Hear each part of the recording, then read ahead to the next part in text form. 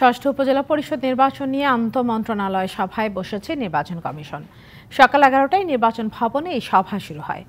বৈঠকে সভাপতিত্ব করছেন প্রধান নির্বাচন কমিশনার কাজী হাবিবুল আওয়াল চার ধাপের ষষ্ঠ উপজেলা পরিষদ নির্বাচনের জন্য এরই মধ্যে তিন ধাপের তফসিল দিয়েছে কমিশন। একশো বাউন্ন উপজেলায় ভোট গ্রহণ হবে আটই মে। এই ধাপের নির্বাচনে রিটার্নিং কর্মকর্তা হিসেবে জেলা নির্বাচন কর্মকর্তা ও সহকারী রিটার্নিং কর্মকর্তা হিসেবে উপজেলা নির্বাচন কর্মকর্তাদের নিয়োগ করা হয়েছে। রিটার্নিং কর্মকর্তার সিদ্ধান্তের বিরুদ্ধে দায়ের করা আপিল আবেদন আপিল কর্তৃপক্ষ হিসেবে নিষ্পত্তি করবেন জেলা প্রশাসক।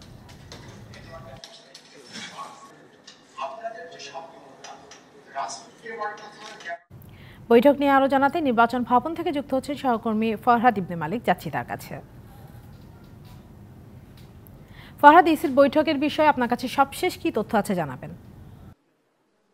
ঈশ্বর এর মধ্যে জানেন যে চার ধাপে যে উপজেলা- নির্বাচন, ষষ্ঠ উপজেলা নির্বাচন, সেই নির্বাচনকে সুষ্ঠুভাবে সম্পন্ন করতে আন্তঃমন্ত্রণালয়ের বৈঠক শুরু হয়েছে। আন্তঃমন্ত্রণালয়ের এই বৈঠকে জনপ্রশাসন মন্ত্রণালয়, জননিরাপত্তা বিভাগ, স্থানীয় সরকার মন্ত্রণালয় ছাড়াও বিভিন্ন আইন শৃঙ্খলা রক্ষাকারী বাহিনী যে রয়েছে, সেই বাহিনীর ঊর্ধ্বতন কর্মকর্তা, মহাপরিচালক যারা আছেন, তারাও কিন্তু এই বৈঠকে অংশ নিয়েছেন।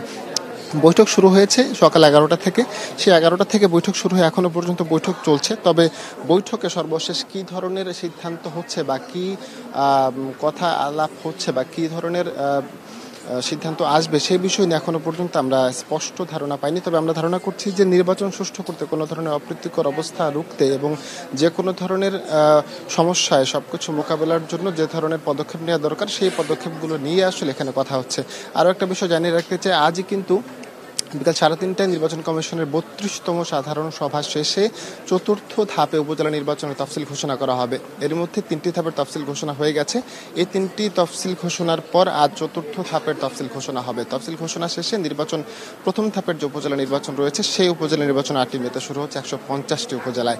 এক একই ধাপে শেষ হবে চারটি উপজেলা নির্বাচন আর এই চার উপজেলা নির্বাচনের পরে সর্বশেষ চতুর্থ ধাপের যে নির্বাচনের আজ তফসিল ঘোষণা হবে, সেই তফসিল ঘোষণার মাধ্যমে কিন্তু নির্বাচনের প্রস্তুতি সম্পূর্ণ করে রাখবে বলে আমরা জানতে পেরেছি। আর আজ একটি বিষয় আরেকটি জানিয়ে রাখতে চাই যে, আজ নির্বাচনের পর কিন্তু আগামী পঁচিশে মে কিন্তু বিভিন্ন বিভাগীয় কমিশনার এবং জেলা প্রশাসকদের নিয়ে আরও একটি বৈঠক করবে নির্বাচন কমিশন।